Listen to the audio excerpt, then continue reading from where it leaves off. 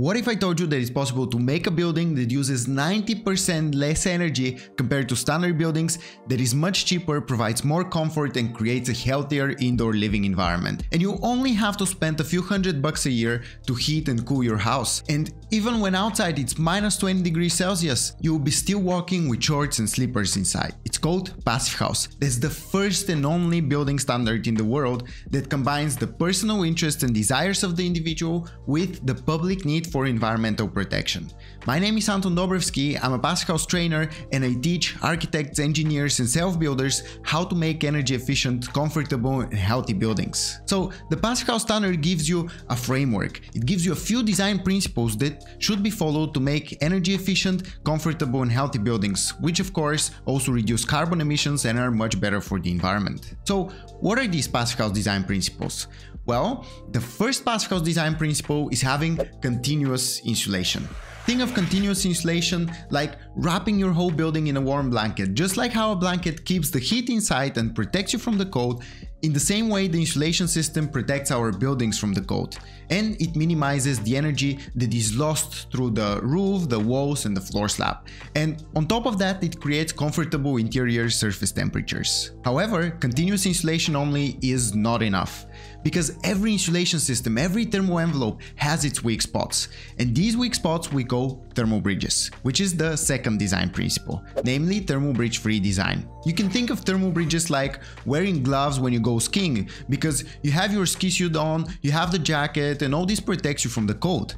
But if you do not put gloves, your hands are gonna be exposed and they're gonna get cold. Well, it's the same with buildings. There will be some parts which are going to be less insulated or even not insulated at all, and these are our thermal bridges. These parts, these details we have to optimize. In this way we're going to further minimize the heat losses and we will also prevent mold growth and condensation inside the building. So by following the first two principles, we insulated the building very well, we optimized the thermal bridges, but our envelope, our thermal envelope doesn't only consist of the roof, the walls and the floor slab.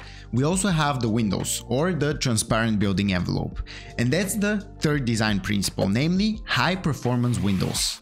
You can think of high performance windows like wearing high quality sunglasses outside, which protect you from the UV sun rays and also from the sun's glare.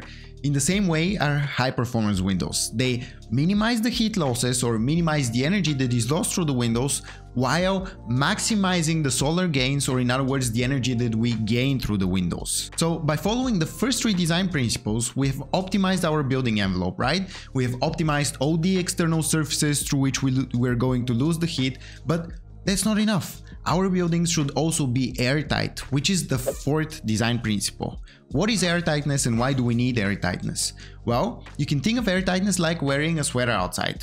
When it is cold and you have the sweater on, it's fine. The sweater is gonna protect you from the cold. But when it is cold and windy, you're going to be cold because the wind or the cold air is gonna go through the sweater. And it's exactly the same with the buildings. Even if a building is very well insulated, the air is still going to go through the building envelope. Therefore, we should have an airtight layer, which is going to prevent the warm air from escaping the building and it will also protect our structure from any moisture related damages. And a very important thing is that the gaps and cracks through which the air will be coming in and out of the building should be very carefully sealed. So by following these four design principles, we've optimized our building and minimized the energy losses as much as possible. But there is a problem, namely fresh air. Because in standard buildings, the fresh air usually comes and goes through the walls and the roof, through the windows, but passive houses, well, they're airtight, they're super insulated, so there isn't any place or there shouldn't be any place through which the air is going to be coming in. That's why we need a ventilation system. And if we use a standard ventilation system or an extract ventilation system, what's gonna happen? We're gonna be ventilating through the windows and extracting from somewhere inside. But in this case, we're going to constantly have to heat up all the incoming air from the outside. That's why we use a mechanical ventilation system with heat recovery, which is the fifth design principle. What is the mechanical ventilation with heat recovery? This is a ventilation system which recovers around 90% of the outgoing heat, namely the heat from from the outgoing air is transferred and recovered to the air that's coming into the building. And in this way, we minimize the heat loss through the ventilation system and at the same time the air is being filtered. So when the air goes through a filter, all the pollens, all the allergens, all the pollution stays outside of the building and inside you only get fresh filtered air. And now I hope that you understand how important it is to follow these 5 design principles in order to create a comfortable and energy efficient building. Because if you skip some of those principles, well, then you might not have fresh air inside the building, you might have cold surfaces, meaning there's gonna be some condensation or even mold, so the building is not going to be healthy to live in anymore. And that's why it is important to combine these principles and always use them together, which is exactly what we do as Passive House professionals. So you see, Passive House is the future of the building industry, there's no question about it. And that's because the Passive House standard is the first step to making a sustainable building.